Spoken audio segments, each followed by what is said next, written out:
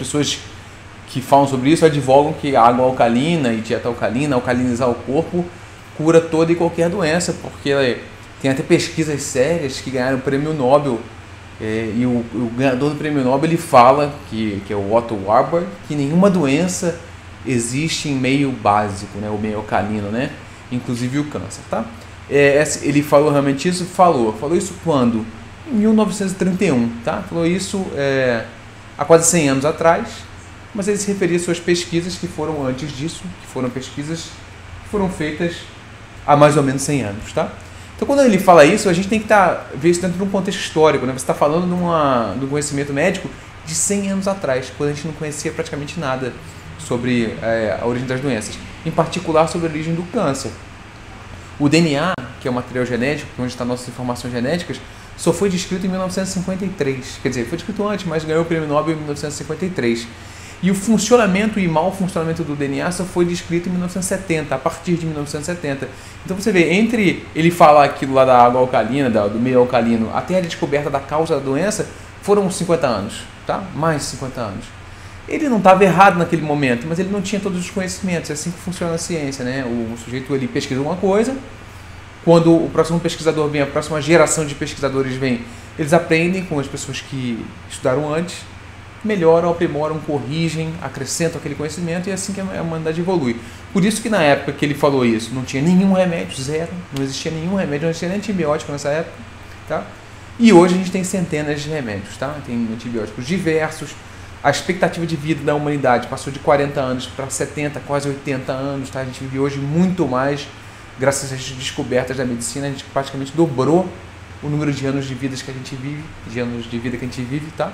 por conta da descoberta de medicina, melhoria de qualidade de vida, enfim, uma série de coisas, mas em grande parte por conta da melhoria da qualidade de vida tá? e, do, e do tratamento médico.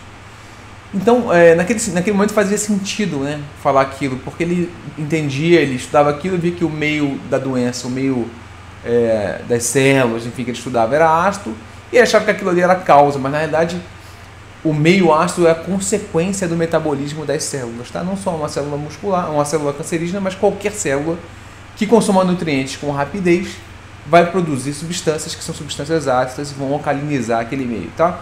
Então, um exemplo que eu dei nessa matéria foi, por exemplo, é, esforço físico, quando você faz força na academia, tá? Que você consome muito nutriente rapidamente.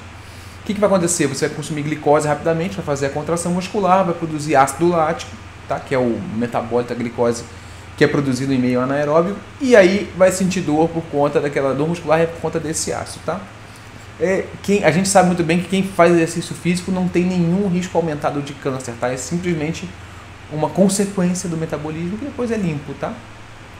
Na célula cancerígena também acontece isso, num tumor também pode acontecer isso. Um tumor que cresce rapidamente, no seu interior não vão chegar nutrientes e, e oxigênio é, de maneira é, ordenada, vão chegar menos nutrientes e menos oxigênio é, de acordo com o que o tumor precisa para crescer. Então aquele interior do tumor vai fazer esse tipo de respiração anaeróbia e vai fazer necrose, vai aumentar o pH dentro do tumor. Mas na periferia do tumor, onde chegam os vasos sanguíneos, onde chegam os nutrientes, ele continua crescendo na presença de oxigênio e continua crescendo na presença de nutrientes, tá? Então, não é verdadeiro o fato de um tumor é, é, ter é, ser ácido, tá? O tumor não é ácido. O meio do tumor não é ácido, tá? O, o tumor não não se gera no ácido. Ele pode até fazer o meio ficar ácido, tá? Mas é, não é a causa, é a consequência disso, tá? Então isso aí é um, a explicação geral disso. Deixa eu te perguntar uma coisa. Põe o carregador do celular aqui, ó. Que senão vai desligar o Instagram, por favor. Ana. Por favor, aqui, ó. O carregador no celular, senão vai, vai, vai desligar o Instagram no meio da transmissão. Que a bateria acaba. Tá, então é, é, vamos corrigindo que os problemas técnicos ao meio do, mesmo do caminho. Tá, gente, então é. Falamos então do meio ácido, mas vamos falar então um pouco sobre o pH do corpo e vamos falar sobre é, mais assim evidências que te mostram que o pH do corpo não tem nenhum tipo de interferência no crescimento das doenças, tá? no desenvolvimento de câncer.